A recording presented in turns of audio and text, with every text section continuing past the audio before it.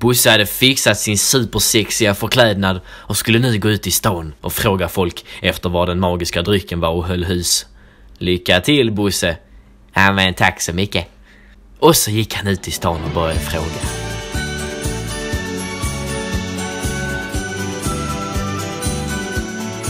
Hej, vet du var man kan få tag på den magiska drycken? Nej, det vet jag inte. Hej, vet du vad den magiska drycken är? Är från Stockholm, jag förstår inte. Hej, vad är den magiska drycken? Vem fan är du?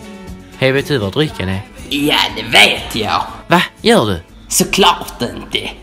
Ja, det gick tyvärr inte så superbra för Bosse med att fråga folk. Men då hittade han några tanter som stod i ett hörn och fnissade och av Bosses egna erfarenheter så var ju tanter i Eslöv det bästa som fanns. Så han gick fram till dem och frågade dem också. Tjena moss! Eh, hallå ja? Vet ni var den magiska drycken finns någonstans? Ja du, jag vet tyvärr inte riktigt. Kanske... Eh, ja... Äh, kom Lolo, nu går vi. Vänta lite nu. Äh, kom Lolo, nu går vi. Lullu?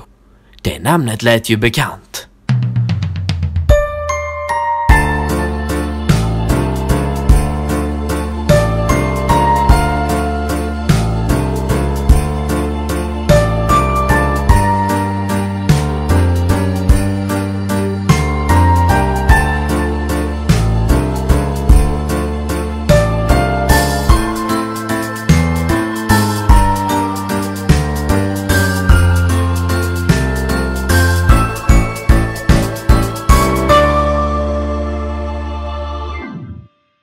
Ska varm i brösten.